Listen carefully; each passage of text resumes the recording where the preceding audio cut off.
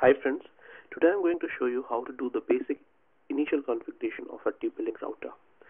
So you need to connect to the router Wi-Fi network and use admin and admin as a username and password that is the default admin password.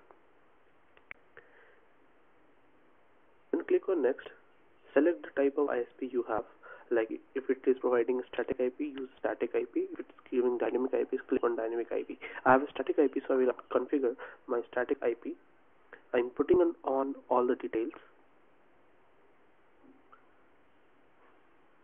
So for DNS you can use either Google's DNS or the DNS that is provided by your service provider. You can use a hell lot of uh, DNS servers those are available online. You can search on Google for free DNS servers and you will get a whole bunch of it. Just click on next and you are good to go so next thing you can do is you can rename the Wi-Fi network that you are creating. You can change the Wi-Fi SSID and create a password that is secure for yourself. For better signal management you can select the country that you are currently living in.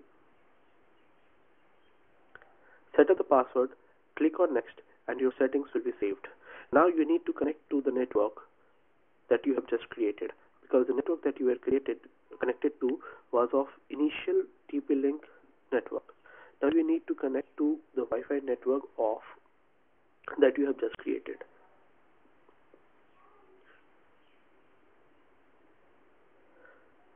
So I'm trying to ping Google, but I'm not able to because there may be two reasons. I'm not currently connected to the network that I have configured, and second, I'm not logged on to my ISP server.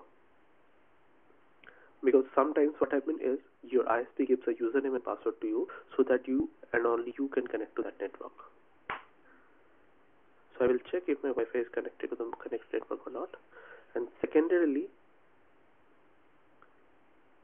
I will go to the ISP's website, log in with my username and password, and then I will check if I'm able to access any website or not.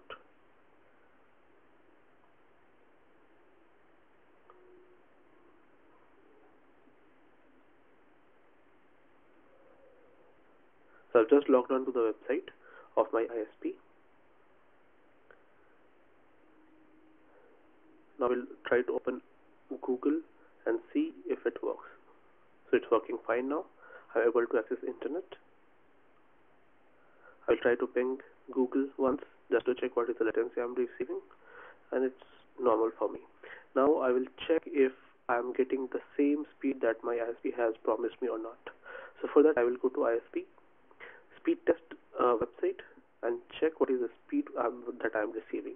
I should normally get something between 20 and 30 because 20 is the normal download speed which I should get and 30 is the peering speed that I should get from either YouTube or some similar websites.